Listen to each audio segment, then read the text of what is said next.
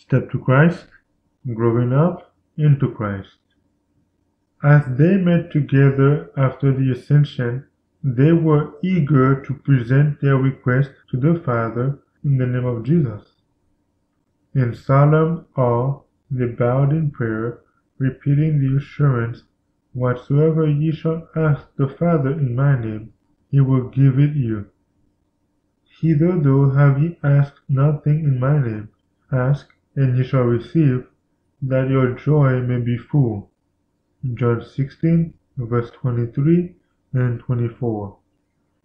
They extended the hand of faith higher and higher with the mighty argument, It is Christ that died, yea, rather, that is risen again, who is even at the right hand of God, who also maketh intercession for us.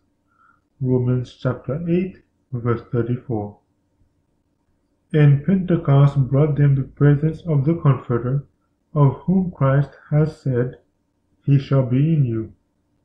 And he had further said, It is expedient for you that I go away, for if I go not away, the Comforter will not come unto you, but if I depart, I will send him unto you. John chapter 14, verse 17 and chapter 16, verse 7. Henceforth, through the Spirit, Christ was to abide continually in the hearts of his children. Their union with him was closer than when he was personally with them. The light and love and power of the indwelling Christ shone out through them so that men, beholding, marveled, and they took knowledge of them that they had been with Jesus. Acts chapter 4 verse 13.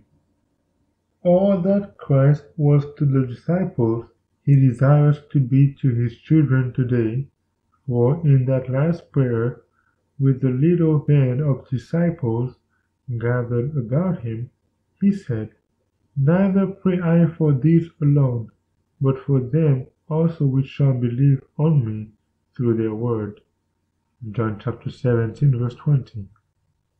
Jesus prayed for us, and he asked that we might be one with him, even as he is one with the Father. What a union is this! The Savior had said of himself, The Son can do nothing of himself, the Father that dwelleth in me, he doeth the works. John chapter 5 verse 19 and chapter 14 verse 10.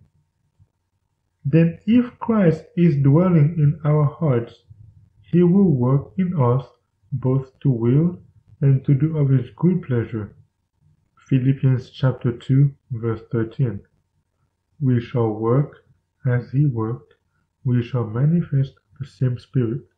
And thus, loving him and abiding in him, we shall grow up into him in all things, which is the head, even Christ.